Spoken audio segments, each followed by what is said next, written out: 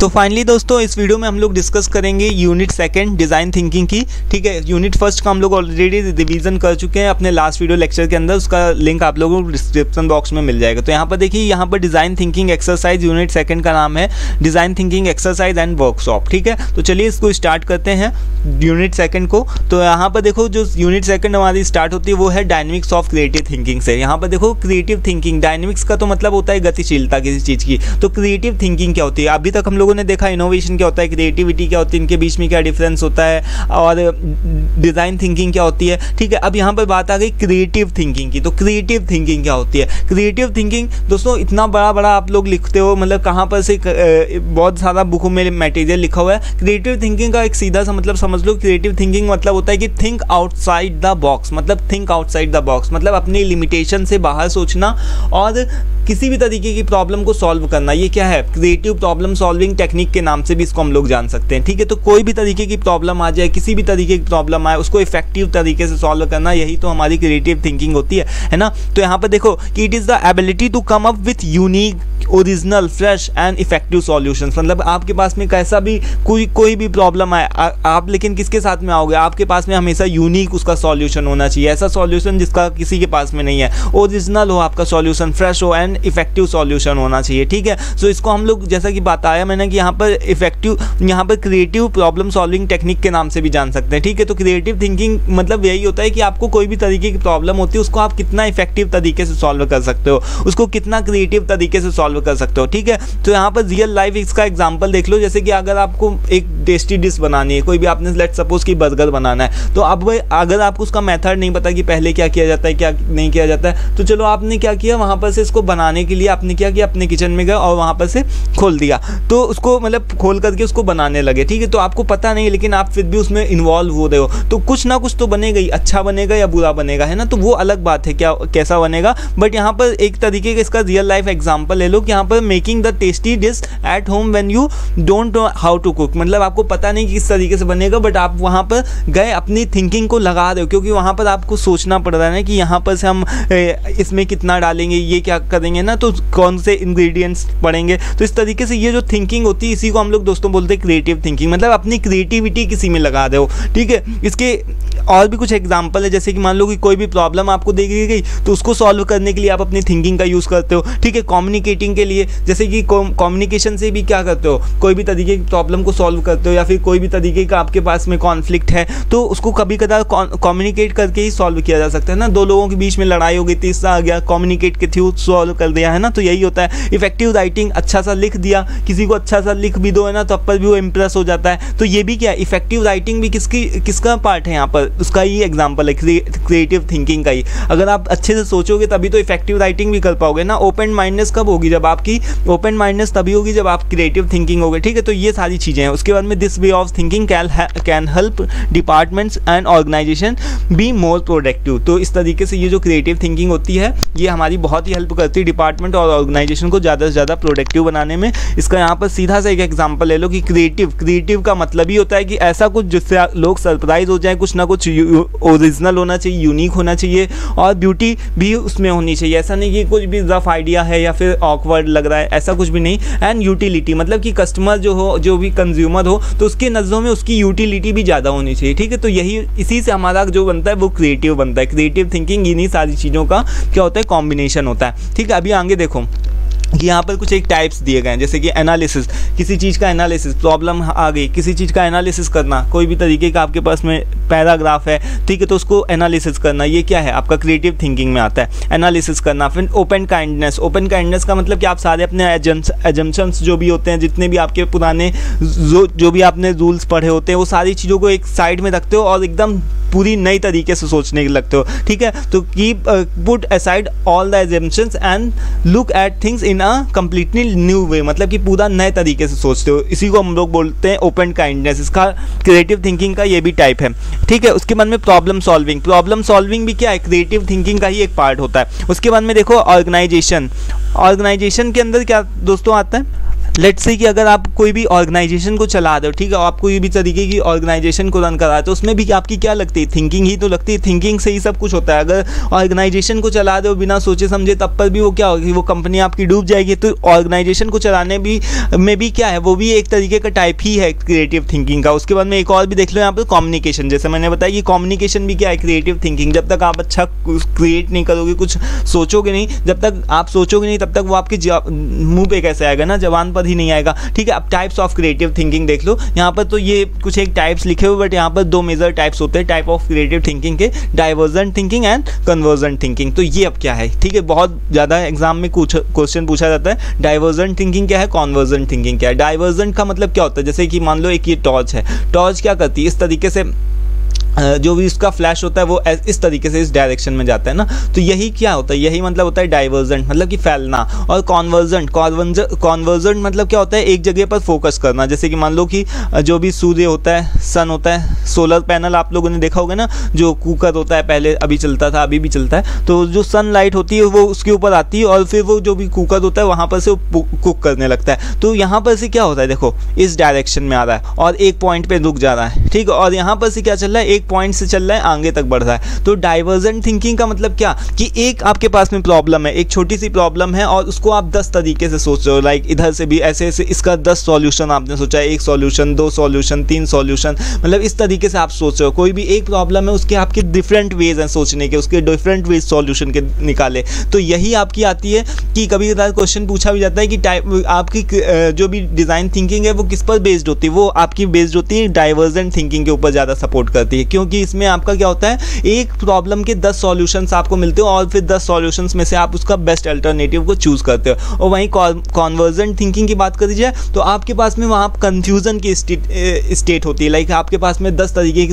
दस तरीके के आपके पास में स्टेजेस होते हैं लाइक आपके पास में आपको पता है कि कि, कि, कि रास्ते आपके पास में दस होते हैं। जैसे कि मान लो कि करियर से रिलेटेड आपको यहाँ भी पता है कि इंजीनियरिंग भी कर सकते हैं हम बीटेक भी कर सकते हैं ठीक है? बीटेक के अलावा बीबीए भी कर सकते हैं बी फार्मा कर सकते हैं जाने क्या क्या कर सकते हो ठीक है? अपने ट्वेल्थ के बाद में। तो वहाँ पर बहुत सारे ऑप्शन होते हैं। उन सभी ऑप्शन में से एक ऑप्शन पर आ करके रुक जाना ठीक है? एक ऑप्शन के ऊपर फोकस करना that is called convergent thinking मतलब कि एक उसमें से आप क्या कर रहे हो कि कॉन्वर्जेंट हो रहा है। मतलब कि अगर जैसे मैंने एक सपोज़ एग्ज़ाम्पल लेता हूँ अगर मैं आपसे पूछूँ कि आप अपनी लाइफ में क्या करना चाहते हो? तो आपके दस तरीके के आंसर होंगे। मैं अच्छा इंसान भी बनना चाहता हूँ मैं एक डॉक्टर भी बनना चाहता हूँ मैं एक आ, इसके अलावा डॉक्टर करने के अलावा मैं गाया गाना भी अच्छा गा लेता हूँ तो सिंगर भी बन सकता हूँ ठीक है? इसके अलावा मुझे हेल्थ भी अच्छी रखनी है मैं एक हेल्थी इंसान बनना चाहता हूँ। तो ये क्या है सब? डाइवर्जेंट थिंकिंग बट अगर मैं आपसे ये पूछूँ कि भारत की राजधानी क्या है तो आप सीधा सा एक आंसर दोगे ठीक है? एक ही आंसर जो भी होगा वो क्या होगा? एक ही होगा एक चीज़ पर आकर के फोकस होगा। तो यही होती कॉन्वर्जेंट थिंकिंग डाइवर्जेंट थिंकिंग में मतलब कि एक प्रॉब्लम के दस तरीके के सॉल्यूशंस होते हैं ऑन कॉन्वर्जन थिंकिंग में आपका जितने भी सॉल्यूशंस होते हैं, वो आकर के किसी एक पॉइंट पर रुक जाते हैं, ठीक है?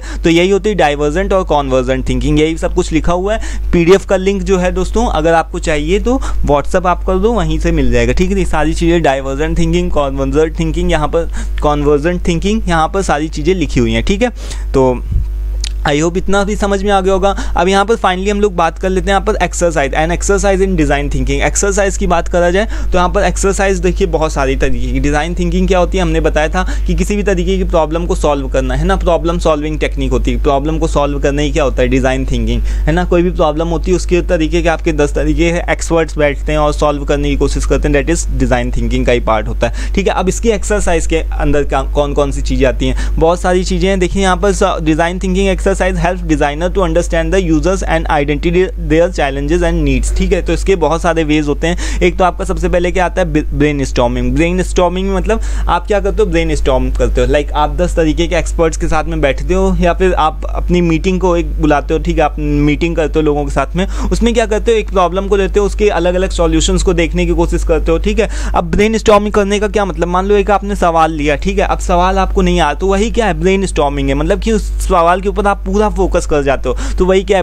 brainstorming brainstorming is an idea generating technique जिससे आपको क्या होता है, एक तरीके से आइडिया जनरेट होता है, कोई भी तरीके का। अब जैसे न्यूटन भी है तो न्यूटन के ऊपर जब सेब गिरा तो उसका आइडिया जनरेटिंग की टेक्निक थी ना यानी कि उसने ब्रेन स्टॉम किया कि कैसे गिरा, क्यों ये नीचे ही गिरा। तो वो क्या करता था ब्रेन स्टॉम करता था, ठीक है? इट्स मेन गोल है, इसका जो मेन गोल होता है, वो यही होता है कि come out from the our habit bound thinking मतलब कि ऐसा कुछ भी नहीं कि जैसे कि हमारी जो सोच होती है, वो कितनी होती है बाउंड बाउंडेड होती है। मतलब हम केवल लिमिटेड सोच सकते हैं। जैसे हम सोच सकते हैं कि हम महीने का बीस हज़ार कमाएँ दैट्स इट ठीक है? कोई आदमी ये सोच सकता है कि महीने मैं महीने का चार लाख रुपए कमाऊँ, है ना? तो यही होती है बाउंडेड थिंकिंग मतलब कि हमारे जितने औकात में होता है, जितनी हमारी समझ होती है, उतना ही हम सोचते हैं। लेकिन हम अपना think outside outside the box मतलब उतना नहीं सोचते जितना हमारी कैपेसिटी से बाहर है लिमिटेशन से बाहर है। तो ब्रेन स्टॉमिंग हमको यही बताती है कि कुछ भी सोचो, कुछ भी सोचने के कोई पैसे नहीं रखते, कोई रिस्क नहीं होता तो ब्रेन स्टॉम करो, कुछ भी सोचो, ठीक है? और फिर यहाँ पर to produce a set of ideas from which we can choose और बहुत सारे आइडियाज़ होते हैं, बहुत सारे आइडियाज़ आएँगे आपके पास में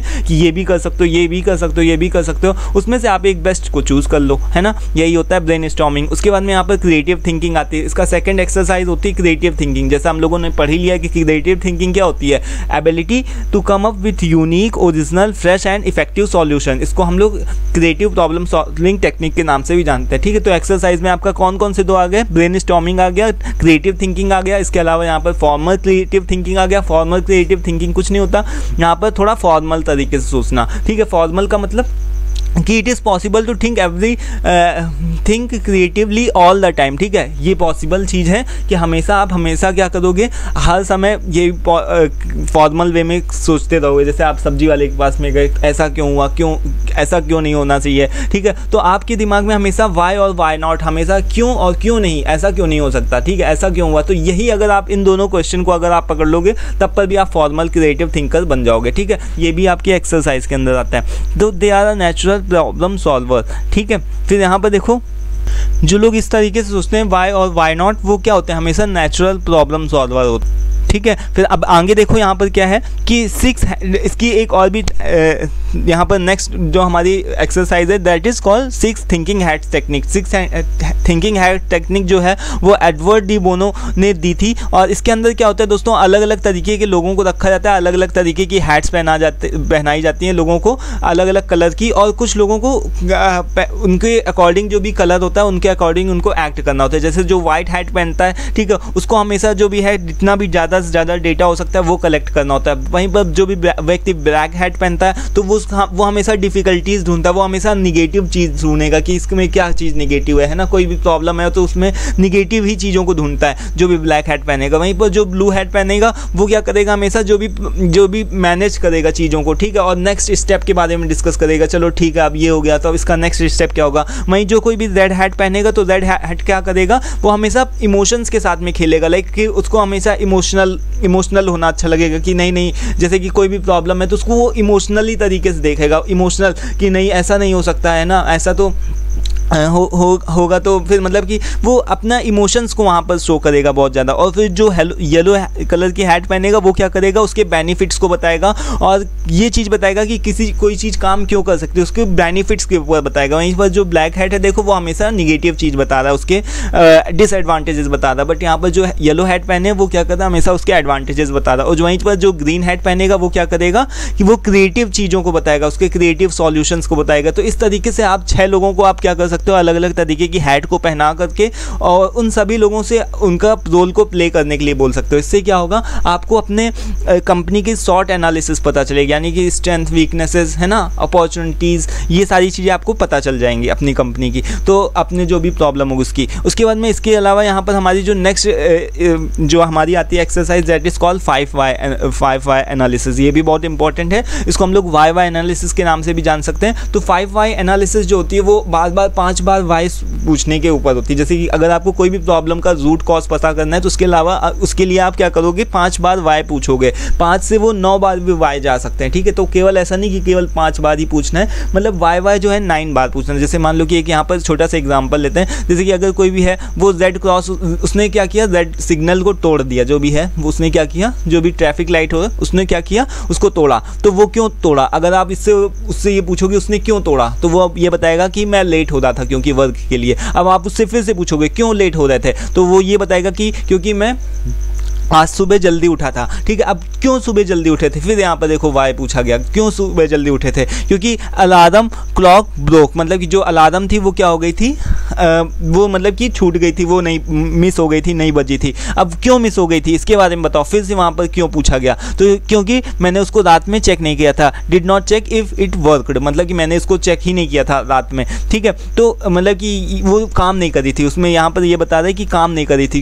काम अलार्म क्यों नहीं बजी क्योंकि वो काम नहीं कर रही थी। और अलार्म काम क्यों नहीं कर रही थी? क्योंकि मैं उसको चेक करना रात में भूल गया था, है ना? तो सबसे पहले जो मतलब कि जहाँ पर जो भी आप समझ रहे हो कि जो भी सिग्नल को तोड़ने का यहाँ पर कारण मेजर कारण क्या है? वो यही है कि जो भी सबसे लास्ट का कारण है कि उसने रात में अपनी अलार्म को नहीं सेट सेट करना वो भूल गया था। तो इसका मेजर कारण क्या निकला? रूट कॉज क्या निकला कि वो अपनी अलार्म को सेट करना भूल गया था? तो अब वो नेक्स्ट बार से क्या करेगा? वो क्या जल्दी उठेगा? जल्दी जाएगा? वो क्या करेगा? डायरेक्ट डायरेक्ट रात में सोने से पहले अपने अलार्म को चेक करेगा, ठीक है? तो फाइव वाई एनालिसिस से आपको बार बार analysis why why why why करके पूछने से आपको क्या होगा, उससे बेनिफिट क्या पता चलेगा कि आप कि आपकी जो भी रूट कॉज है रूट कॉज प्रॉब्लम की क्या है? प्रॉब्लम कहाँ से शुरुआत हुई है? और जब वहाँ पर से आपको रूट कॉज उसका पता चल जाएगा तो उसके लिए आप क्या करोगे? फिर उसके लिए एफर्ट लगाना स्टार्ट करोगे। फिर यहाँ पर देखो यही कुछ एक हमारे पास में टेक्निक होती है जो आ, हमारे पास में यही कुछ एक एक्सरसाइज होती है जो कि डिज़ाइन थिंकिंग एक्सरसाइज के नाम से हम इसको जान सकते हैं? पहला क्या है?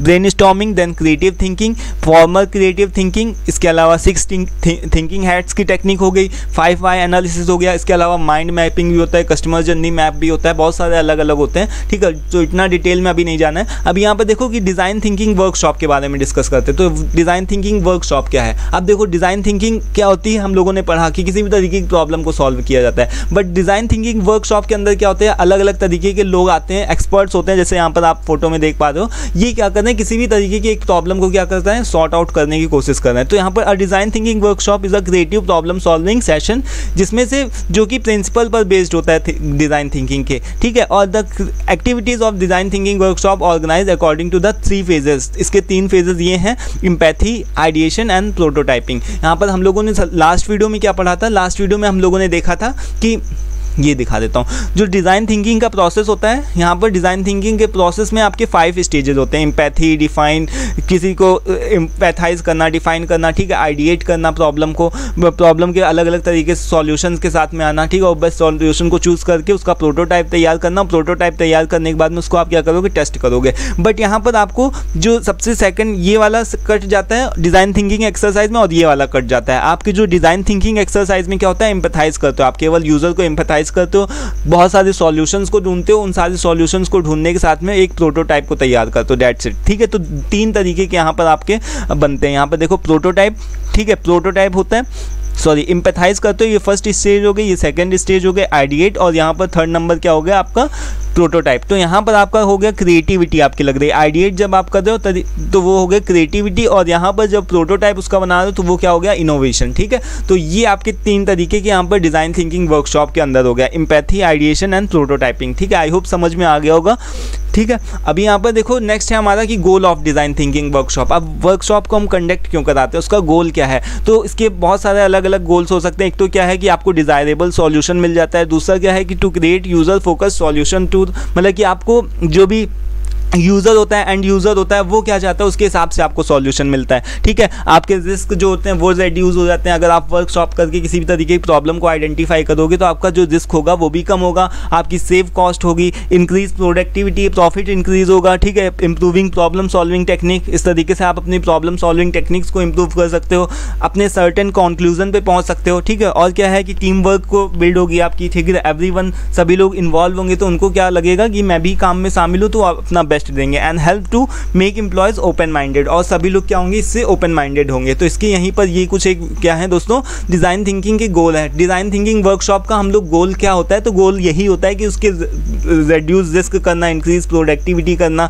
ठीक है कंक्लूजन मेन कंक्लूजन पे आना सॉल्यूशन एकदम बेस्ट इफ़ेक्टिव सॉल्यूशन प्रोवाइड करना ओपन माइंडेड होना। तो यही क्या होते हैं गोल होते हैं डिज़ाइन थिंकिंग वर्कशॉप के। ठीक है, आप कंफ्यूज मत होइएगा, कोई भी प्रॉब्लम हुआ करे तो प्लीज़ उसको कमेंट बॉक्स में बता दिया करो या पूछ लिया करो। ठीक है, और वीडियो पसंद आएगा तो उसको ज़रूर से लाइक कर दिया करो चैनल को ज़रूर सब्सक्राइब कर सब्सक्राइब किया करो सॉरी ठीक है? क्योंकि सभी लोग देखते हो बट वहाँ पर से सब्सक्राइब कोई नहीं करता तो इससे मुझे नुकसान होता है। तो यहाँ पर देखो क्या है कि डिज़ाइन थिंकिंग वर्कशॉप के प्रोसेस क्या है। ठीक है प्रोसेस क्या है? तो प्रोसेस के अंदर आपका क्या होता है? यहाँ पर कुछ एक लिखे हुए हैं। प्रोसेस में आपको क्या करना रहता है? देखो आपका सबसे पहले आपका क्या होगा? प्लानिंग आप करोगे। प्लानिंग और प्रिपरेशन करोगे। जैसे आप मान लो कि वर्कशॉप को आपको कंडक्ट कराना है मान लो कल कर, कंडक्ट कराना है तो इसके लिए आप क्या करोगे? सबसे पहले तो एक एजेंडा तैयार करोगे ना। एजेंडा तैयार करने के बाद में क्या करोगे? उसकी प्लानिंग करोगे। मतलब प्लानिंग कर लो या एजेंडा बोल लो तो उसका एजेंडा तैयार कर लो है ना? यहाँ पर लोकेशन ऑब्जेक्टिव ये सारी चीज़ों की प्लानिंग करोगी कहाँ पर होना है किस जगह पर होना है किस टाइम पर होना है उसका एजेंडा तैयार करोगे कौन कौन से पॉइंट डिस्कस किए जाएँगे? फिर उसके बाद में जब सभी लोग आ जाएँगे मीटिंग में तो फिर क्या करोगे? इंट्रोडक्शन करवाओगे सभी लोगों का इंट्रोडक्शन करवाओगे आज हम किस टॉपिक के ऊपर बात करने वाले हैं उसके बाद वार्म अप करवाओगे। वार्म अप क्या होता है? एक तरीके की छोटी सी एक्टिविटी होती है जैसे हम जिम में जाने से पहले थोड़ा सा वार्म अप करते हैं यानी कि हमारी जो भी सारी काम कम, का, काम करना स्टार्ट करते हैं यानी जो भी हमारी आ, बॉडी पार्ट्स होते हैं, वो सारे काम करना स्टार्ट करते हैं। तो वार्म अप क्या होता है कि इसी तरीके से डिज़ाइन थिंकिंग वर्कशॉप में जो भी हमारे जो भी दिमाग होते हैं ना, वो हमारा काम करना स्टार्ट कर दे। जैसे कि जो भी हम सोचते हैं तो हम हम जैसे कोई भी मीटिंग लेने जाते हैं तो उसका क्या होता है? सबका कहीं, किसी का दिमाग आधा घर पर होता है, किसी का दिमाग कहीं पर कोई एक्सीडेंट हो गया,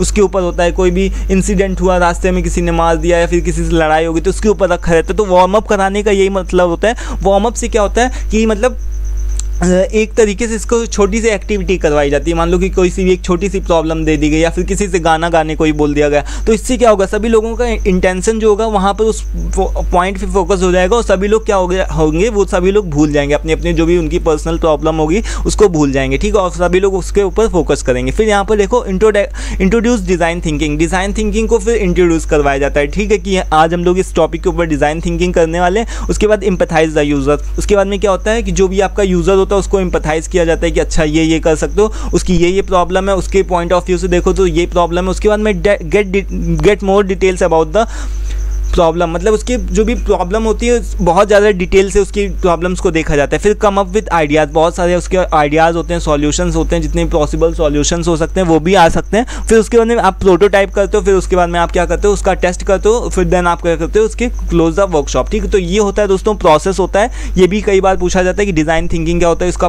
वर्कशॉप क्या डिज़ाइन थिंकिंग वर्कशॉप को एक्सप्लेन करो, उसका प्रोसेस क्या होता है, उसका गोल क्या होता है। ठीक है तो ये सारी चीज़ें हम लोगों ने देख ली। अब यहाँ पर देखो what do understand by the analysis and synthesis देखो एनालिसिस क्या होता है? किसी तरीके की क्या होती है? दोस्तों स्टार्टिंग की।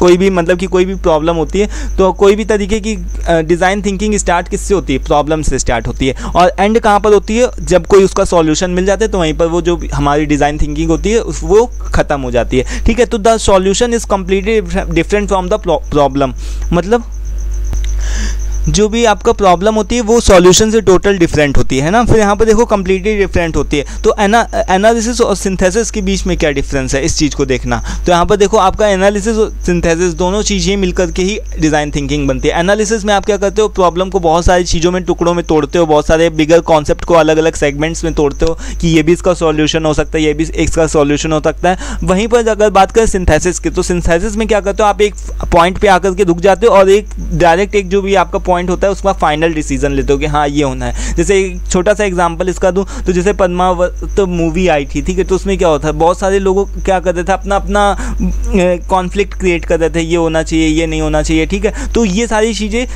वो क्या होता थी, वहाँ पर एनालिसिस हो रही थी कि ऐसा होना चाहिए, ये नहीं होना चाहिए, वो होना चाहिए। ठीक है तो यहाँ पर देखो सिंथेसिस में क्या कर रहे थे, एक पॉइंट पे आकर के सभी लोग स्टॉप यानी कि सभी लोग देख ले रहे थे। तो यहाँ पर क्या है सिंथेसिस का मतलब कि उसमें कोई भी कॉन्फ्लिक्ट की सिचुएशन नहीं होती। Do not let the conflict मतलब कोई भी कॉन्फ्लिक्ट की सिचुएशन नहीं होती। डेट इज़ सिंथेसिस और एनालिसिस में क्या डिफरेंस होता है, ये भी है। अब कॉन्सेप्ट ऑफ़ फैसिलिटेशन फैसिलिटेशन का कॉन्सेप्ट क्या होता है? तो फैसिलिटेटर क्या होता है? एक सबसे पहले फैसिलिटेशन जो वर्ड है, ये कहाँ से आया? फैसिलिटेटर का नाम सुना होगा। जैसे हमारे स्कूल में टीचर्स होते हैं, वैसे ही फैसिलिटेटर होता है। फैसिलिटेटर क्या करता है कि जितना भी जैसे कि टीचर्स होते हैं, वो केवल हमको पढ़ाते जाते हैं, पढ़ाते जाते हैं, ठीक है? हमारी राय, हमारी ओपिनियन नहीं रहते हैं। वहीं पर जो भी फैसिलिटेटर होता है, वो क्या करता है? हमसे क्वेश्चन के आंसर पूछता है, ठीक है? हमको भी रोल प्ले करने को बोलता है, हम, हमारी एक्टिविटीज़ को भी देखता है, हमसे क्वेश्चन के आंसर पूछता है, हमसे, हमको ज़्यादा से ज़्यादा स्पीक मतलब इंकरेज करता है कि तुम भी बोलो और जो भी क्वेश्चन होते हैं, उसके आंसर्स करो, ठीक है? इसके अलावा वो अपनी आपसे किसी भी तरीके की जो भी जर्नी है, उससे उससे रिलेटेड कोई भी क्वेश्चन पूछ सकता है कि आपका इंटरव्यू में किस तरीके का एक्सपीरियंस रहा, ये सारी चीज़ें होती है तो ये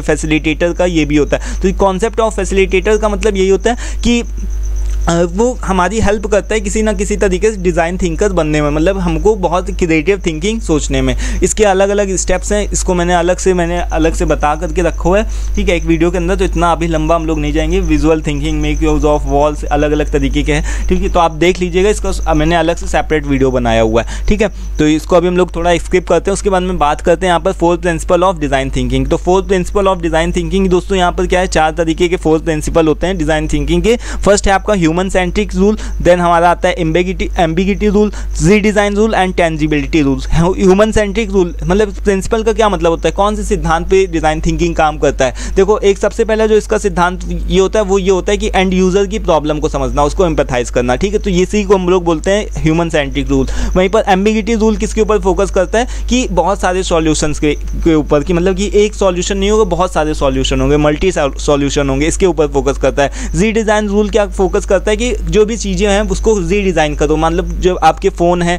जैसे आपने स्मार्टफ़ोन को यूज़ किया तो स्मार्टफ़ोन में क्या है कि बार बार उसके दिन पर दिन क्या हो रहा है न्यू न्यू फीचर्स लॉन्च हो रहे हैं। एक एक, ना एक उसमें क्या आ रहा है नए नए इनोवेशन आ रहे हैं कुछ ना कुछ उसमें नए फीचर्स ऐड हो रहे हैं। तो री डिज़ाइन मतलब कि जो भी आपके पास में प्रोडक्ट उपलब्ध है उसी को आप क्या करो री डिज़ाइन करो। मतलब उसी में कोई ना कोई फीचर्स नया ऐड ऑन कर दो। फिर वहीं टेंजिबिलिटी रूल जो होता है ये सिद्धांत हमको ये बताता है ये हमको प्रिंसिपल ये बताता है कि प्रोटोटाइप की हेल्प से आप क्या कर सकते हो सामने वाले को इम्प्रेस कर सकते हो और साथ में अपनी जो भी जिस भी चीज़ के बारे में आप बता दो, उसको अच्छे से बता सकते हो, ठीक है? तो प्रोटोटाइप बना करके यानी कि कोई भी सैंपल बना करके आप अपनी जो भी आप चीज़, जिस भी चीज़ को समझाना चाहते हो, उसको अच्छे से एक्सप्लेन कर सकते हो। तो ये हमारे fourth principle of design thinking then हमारा फिर आता है, यहाँ पर विग्ड प्रॉब्लम है। विग्ड प्रॉब्लम, ये हमारे लास्ट मतलब ऐसी प्रॉब्लम्स ये होती हैं जो कि कभी सॉल्व होने का नाम नहीं लेती है। तो यहाँ पर इसको हम लोग बोल सकते हैं विग्ड प्रॉब्लम के नाम से। देखो, यहाँ पर जो इन विग्ड प्रॉब्लम, जो design thinker may have a general idea of the problem मतलब उसको प्रॉब्लम का जनरल आइडिया पता होता है एंड सिग्निफि बट दो उस, उसके पास में जो टाइम होता है वो क्या होता है? सिग्निफिकेंट अमाउंट ऑफ़ टाइम उसका जो टाइम होता है वो लिमिटेड होता है. ठीक है? तो यही होती है हमारी विग्ड प्रॉब्लम ऐसी प्रॉब्लम जो जल्दी नहीं सॉल्व होती हैं सॉल्व तो होती हैं बट उनको सॉल्व होने में थोड़ा सा समय लगता है. इसी को हम लोग विग्ड प्रॉब्लम बोलते हैं. ठीक है? तो आई होप दोस्तों ये सारी चीज़ें क्लियर हो गई होंगी. सेकेंड पार्ट हमारा सेकेंड यूनिट खत्म हो चुका है. ठीक है? इसी के साथ में और आई होप कि सारी चीज़ें क्लियर हैं। नेक्स्ट वीडियो में अगर आप बोलोगे तो थर्ड यूनिट को भी कवर करेंगे। उसमें केस स्टडीज़ वगैरह हालाँकि मैंने उसके ऊपर अलग से एक सेपरेट वीडियो बना करके रखा हुआ है। बट अगर आप बोलोगे तो एक उसके ऊपर भी अलग अलग सेक्टर्स के ऊपर उसको डिफाइन कर दूँगा। ठीक है? तो आज के इस वीडियो में दोस्तों इतना ही रखते हैं। वीडियो पसंद आए ज़रूर से लाइक करिएगा। चैनल को सब्सक्राइब करिएगा। पीडीएफ का लिंक चाहिए तो व्हाट्सअप कर देना या फिर डिस्क्रिप्शन बॉक्स में चेक कर लेना।